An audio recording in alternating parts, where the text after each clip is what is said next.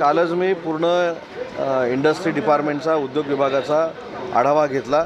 आढावा घेतल्यानंतर एक महत्त्वाचं लक्षात आलेलं असं आहे की माझ्या विभागामध्ये कुठेही मुख्यमंत्र्यांनी आणि उपमुख्यमंत्र्यांनी कशालाच स्थगिती दिलेली नाही. महत्त्वाचा मुद्दा असा आहे की महाराष्ट्र राज्यामध्ये बेरोजगारी फार मोठ्या पद्धतीनं आहे आणि महाराष्ट्र राज्यातली बेरोजगारी दूर करण्यासाठी काही जे मोठे प्रोजेक्ट आहेत हे आम्हाला दिल्लीला जाऊन सेंट्रल गव्हर्नमेंटला कन्व्हिन्स करून महाराष्ट्रामध्ये आणावे लागतील.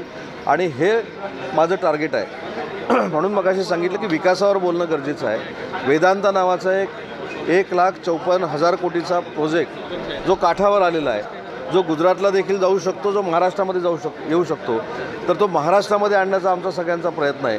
त्याच्यासाठी मुख्यमंत्री महोदयांनी उपमुख्यमंत्री महोदयांनी त्याचं प्रेझेंटेशन घेतलं आहे काल मी प्रेझेंटेशन घेतलं आहे आवाडासारखा प्रोजेक्ट आपल्याला आणायचा आहे.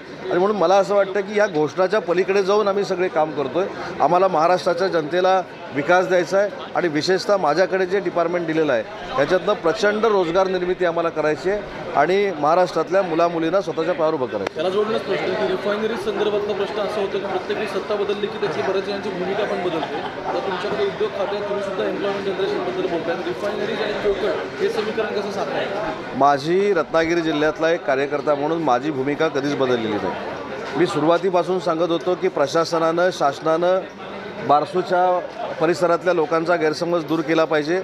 बेरोजगारी दूर झाली पाहिजे.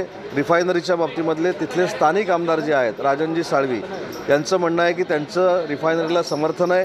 आणि म्हणून एखादा स्थानिक लोकप्रतिनिधी जर एखाद्या प्रकल्पाबाबत सकारात्मक भूमिका घेत असेल मग ते आमच्याबरोबर असतील किंवा दुसऱ्याबरोबर असतील तर त्या भूमिकेचं स्वागत करून पुढं कसं जाता येईल हा प्रयत्न करणं आमची जबाबदारी आहे.